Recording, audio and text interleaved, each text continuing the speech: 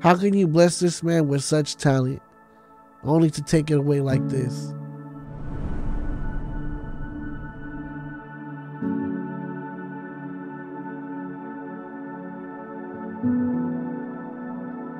My wife said that when the doctor saw me being wheeled in to the ER, he told her that man is at risk of losing all of his extremities. I can tell you right now.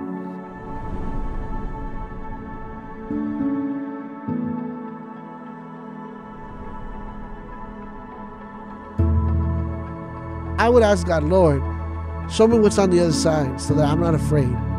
Show me show me what the outcome is so that I'll feel better.